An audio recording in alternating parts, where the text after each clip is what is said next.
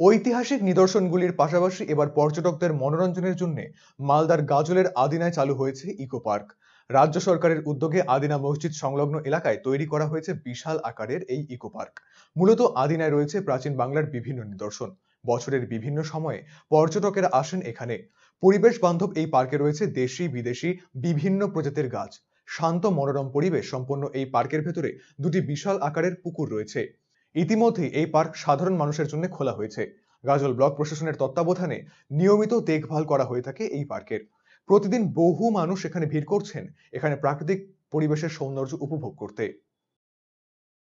দেখাশোনা করছে গাজল development block video এখানে পার্কে ওই ঘোরার মতন জায়গায় আছে বসার জায়গা আছে। কোনো সিজন মানে যদি কোনো অনুষ্ঠান বা কিছু হয়, যেরকম সরস্বতী পুজো তারপরে পনেরোই আগস্ট, এই সমস্ত দিনগুলোতে একটু লোকজন বেশি হয়। সারাদিন বলতে কি, বৈকাল পাঁচটা পর্যন্ত, সকাল দশটায় খোলে। পুকুর, চারপাশে গাছ আছে, আবার বসা জায়গা আরও অনেক কিছু আছে। গরমের সময় ভালো লাগে তো মানে শীতের দিনটা একটু বেশি ভালো লাগে।